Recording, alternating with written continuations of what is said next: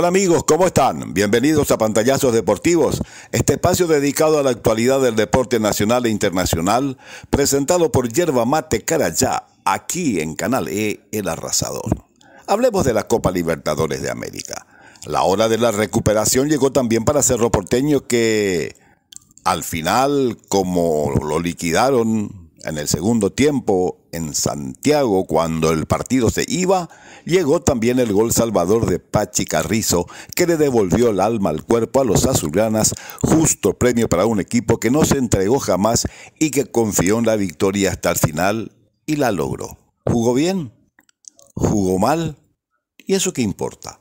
¿Cuántas veces equipos que jugaron mucho mejor perdieron? Y al revés. Esta vez al menos vimos que el equipo se esforzó dentro de sus posibilidades y alcanzó la victoria que le reacomoda en la tabla de posiciones del grupo A, un grupo que está siendo liderado por el Fluminense de Río de Janeiro, al que lo separa de Cerro Porteño un solo punto. La victoria permitió alcanzar a Colo Colo y superar a la Alianza Lima, de modo que los paraguayos de la Libertadores se recuperaron de los tropiezos iniciales y encaminan de nuevo sus campañas con esperanzas de avanzar a los octavos de final.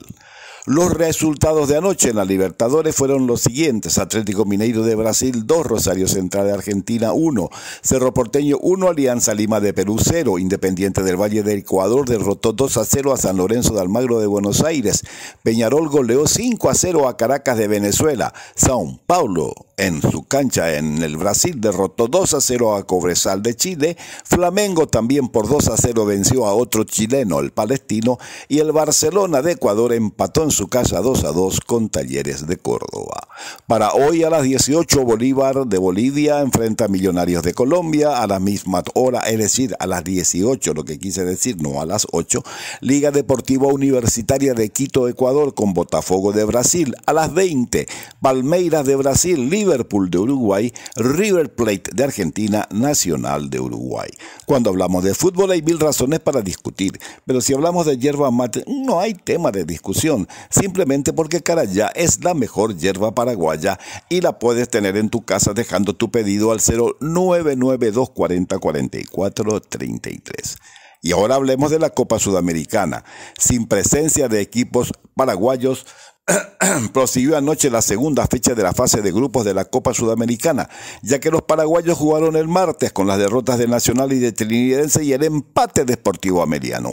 Hoy será el turno de Sportivo Luqueño, que en Chile visitará a Coquimbo Unido con la esperanza de salir de perdedor, comenzar a ganar y a enderezar el rumbo hacia la el rumbo hacia la clasificación. El programa de encuentros para hoy señala estos partidos a las 18 Metropolitanos de Venezuela, Cuyabá de Brasil, a las 18 también Lanús de Argentina, Deportivo Garcilaso de Perú, a las 20 Coquimbo Unido de Chile frente a nuestro Esportivo Luqueño. A las 20 también, Cruzeiro de Brasil, Alianza Petrolera de Colombia, Delfín del Manta, Ecuador frente a Belgrano de Córdoba. Y los resultados de anoche los recordamos ahora. Defensa y Justicia de Argentina empató 1 a 1 con Always Ready de Bolivia. Fortaleza de Brasil le ganó 5 a 0 a Nacional de Potosí. Inter de Porto Alegre empató 0 a 0 con Tomayapo de Perú. Unión La Calera de Chile venció cayó, perdón, 1 a 0 ante Católica de Ecuador. Racing de Argentina venció 3 a 0 a Bragantino de Brasil e Independiente Medellín de Colombia batió 4 a 2 a César Vallejo de Perú. Yerba mate ya tiene sabor a monte. Procede de los yerbales vírgenes de Corpus Christi en la cuenca del Alto Paraná, de donde son extraídas las hojas para ser procesadas con absoluto cuidado y modernos equipos. Por eso mantiene ese gusto tan especial que vale la pena probar. Sabor a monte. El fútbol nuestro de cada día. Sí, todo está a punto para el comienzo de la tercera fecha de la segunda rueda del torneo mayor del fútbol paraguayo. Como está previsto en el calendario elaborado por la Comisión de Competiciones de la APF, se jugarán 12 encuentros el viernes, 12 el sábado y otros 12 el domingo. Mañana a las 18 Guaraní Sol de América, a las 20.30 Trinidense 2 de mayo. El sábado a las 18 Olimpia Tacuarí, a las 20 y 30 General Caballero Nacional y el domingo a las 18.30 Esportivo Luqueño Libertad y Cerro Porteño Ameliano. Cuando hablamos de fútbol hay mil razones para discutir, Pero si hablamos de yerba mate no hay tema de discusión, simplemente porque Carayá es la mejor yerba paraguaya y la puedes tener en tu casa dejando tu pedido al 0992 40 44 33. Hablemos de nuevo de la Champions League ahora, porque ¿qué pasó? Otra jornada intensa y emotiva vivimos ayer con los dos partidos finales de la primera tanda de partidos de cuartos de final de la Copa de Campeones de Europa, es decir, la famosa Champions League. En el Parque de los Príncipes de París, Barcelona derrotó al Paris Saint-Germain por la cuenta de tres goles contra dos en un encuentro de subidas, emociones e incierto desenlace que hasta el final dejó en suspenso el partido que por último, se llevaron los azulgranas del Barça por tres tantos contra dos. Abrió la cuenta el Barcelona en el primer tiempo por intermedio de Rafinha, un golazo desde la, desde la derecha, un balonazo impresionante. A los 37 minutos terminó el primer tiempo con la victoria parcial del Barça por 1 a 0. En el segundo tiempo, a los 3 minutos, Dembélé, que fue el mejor jugador del equipo francés, empató y a los 5 lo dio vuelta Víctor Ferreira. 2 a 1 ganaba el Paris Saint Germain y no aparecía el, famoso win de, los, de los franceses, el que todo el mundo desea tenerlo en su, en su, en su equipo, Mbappé. No apareció, sencillamente no apareció. Lo marcaron muy bien, lo borraron de la cancha, se puede decir. Intentó muchísimo, remató muchísimo, todos afuera. Parecía consolidada, consolidado el, el.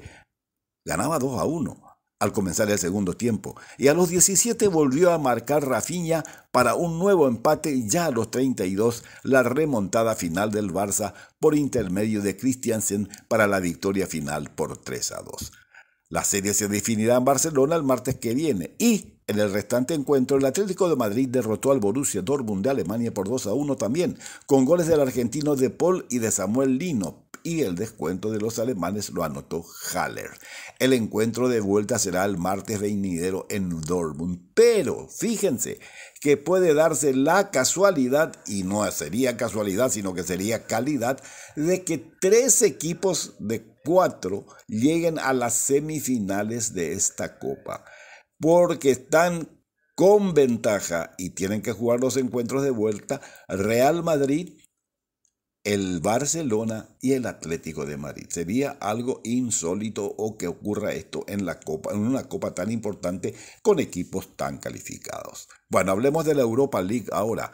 Hoy se juegan los partidos de ida del torneo del segundo torneo en importancia del fútbol europeo. Liverpool con Atalanta de Bergamo jugarán en Liverpool, Inglaterra. Benfica de Portugal en la capital portuguesa frente al Marsella de Francia el Milan frente al Roma en la ciudad de Milán o Milán, ambos equipos italianos, y el Bayer Leverkusen de Alemania enfrentará al West Ham United de Inglaterra. Yerba ya tiene sabor a monte. Procede de los yerbales vírgenes de Corpus Christi en la cuenca del Alto Paraná, de donde son extraídas las hojas para ser procesadas con absoluto cuidado y modernos equipos. Por eso mantiene ese gusto tan especial que vale la pena probar. Yerba carayá con sabor a monte. Hablemos de la intermedia. ¿Por qué? Porque la intermedia comienza mañana también la segunda fecha de este torneo tan interesante que reúne a 16 equipos de la segunda categoría del fútbol paraguayo. Ocho partidos en total se cumplirán de acuerdo al siguiente calendario. El viernes, es decir, mañana, Encarnación con 3 de febrero y Guaireña con Esportivo San Lorenzo. El sábado, Martín de Desma Atlético Colegiales y Carapeguá Fernando de la Mora. El domingo 12 de junio de Villa Ayes frente a Resistencia y Pastoreo con Independiente de Campo Grande. Y por último el lunes Deportivo Recoleta ante Deportivo Santaní y Tembetarí con Rubio Ñu. El Masterville de Monte Carlo sigue a toda orquesta, se están jugando los partidos correspondientes a los octavos de final. Aquí quedarán, al cabo de esto, quedarán clasificados cuatro tenistas, digo, ocho tenistas para jugar mañana los cuartos de final. Los ganadores de esos partidos van a jugar el sábado la semifinal y el domingo será la final.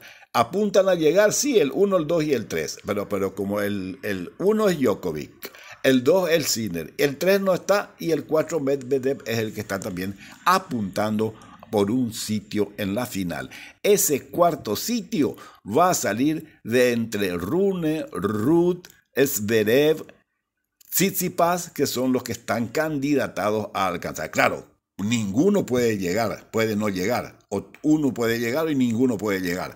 Solo que yo les apunto lo que son los favoritos y lo que puede ocurrir. Y les recuerdo también que esta noche comienza a jugarse el 53 Campeonato Nacional de Fútbol de Salón con estos partidos en Coronel Oviedo, Carmel del Paraná, Presidente Franco y Coronel Oviedo, San Juan Nepomuceno. En el grupo B, en Caguazú, Falcón con San Pedro del Icuamandiyú y Caguazú con Encarnación. En el grupo C, en repatriación, Ayolas Concepción, repatriación y Pacaraí. Y en el grupo D, en Juan Manuel Frutos, Paranaense, Itacurubí y Pastoreo Villeta. Gracias por haberme acompañado hasta aquí. Y gracias a Yerba Caraya por permitirme estar en contacto con ustedes. Hasta mañana, si Dios quiere, y hasta todo momento con la noticia resaltante. Chao.